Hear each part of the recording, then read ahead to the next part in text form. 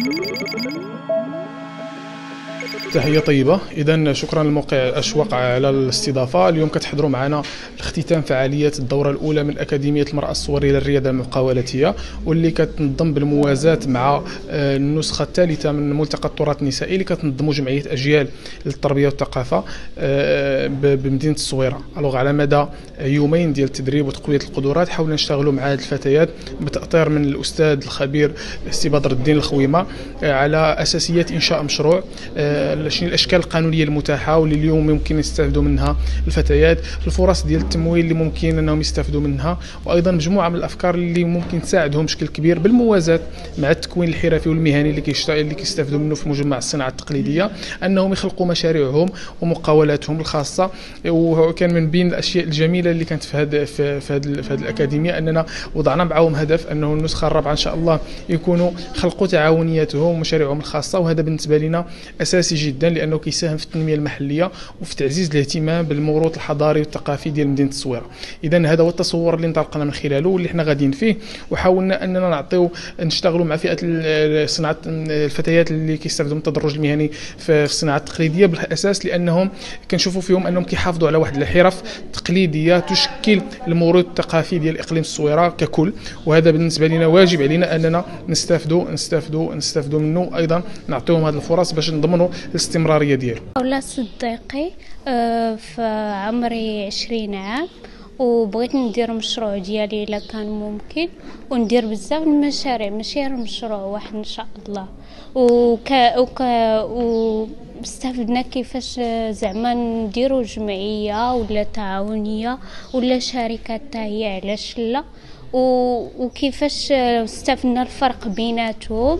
واستفدنا شحال حاجة رائد أعمال رائد رياضي وكيفاش نأسسوا بزاف د الحوايج يعني اللي مهمين. وكنشكر الدولة وكنشكر حتى الجمعية اللي عاوناتنا وكنشكر الصناعة التقليدية حتى هي وكنشكر الأستاذة ديالي فاطمة حتى هي ونشكر الجميع على المساعدة اللي كيقدموا علينا حنا كشباب. ليلى الرفيعي عضوة جمعية أجيال التربية والثقافة بمناسبة اليوم العالمي للمرأة 8 مارس. آه، نظمت جمعية أجيال للتربية والثقافة ملتقى التراث النسائي الثالث بإقليم الصويرة.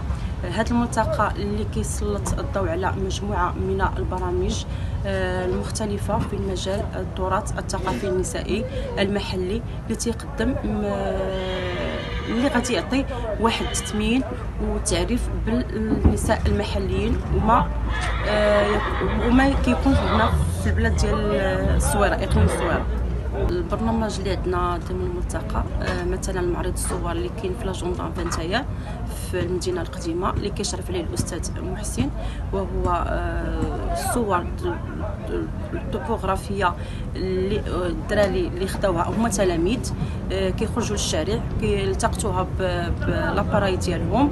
يعني كنقولوا صور الشارع.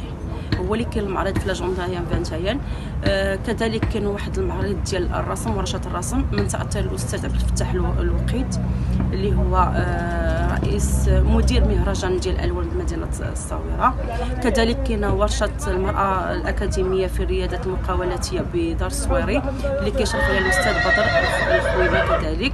وكما كاين نشاط اللي هو ديال التبريده اللي كيشرف عليه الأستاذ آه، عبد الواحد. آه، هاد ديال التبريده في مجموعه من آه، مجموعة الصربات من الإقليم ديال الصويرة. وضمن هاد المجموعات ديال الصربات كاينة واحد المجموعة نسائيه اللي بمناسبة 8 مارس جاوا باش يحتفلوا معنا. وهي صربات ديال عبد السلام اللي كاينة في الحرارته الفكرة ديال الملتقى بأننا كنحتفلوا بالزيت التقليدي المحلي هو الحيك. الفكرة جات بأننا حنا الحيك بأنه ما يبقاش آه، كان واحد المده في مدينه الصويرة. وكنشوفوا بأنه ما بقاش في الصورة ما بقاش كيتلبس. تما جات الفكرة بأننا نديروا هذا الملتقى ديال التراث النسائي ونخدموا على الحيك. ومن بعد الملتقى الأول والثاني والثالث كيدخلوا أفكار أخرين وأنشطة أخرين. والعام الثاني كانت التبوريده حاضرة وهذا العام الثالث هي حاضرة حيت التبوريده تصنفت ضمن آه، التراث العالمي اليونسكو داكشي علاش؟ بأننا درنا هذا العام التبوريده وكانت حاضرة معنا هذا العام. جمعية أجيال التربية والثقافة قدمت دعوة آه، لمستشار الملك عبد الأزور إن شاء الله يكون حاضر معنا.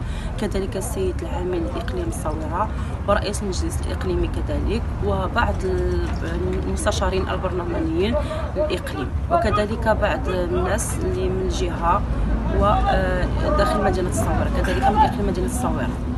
وفاعلين جمعويين كذلك ومصالح والمصالح الخارجية. اشترك الآن في قناة أشواق تيفي وفعل الجرس ليصلك كل جديد. وشارك الفيديو على مواقع التواصل الاجتماعي. أشواق تيفي جريدة إلكترونية وطنية شاملة ومستقلة.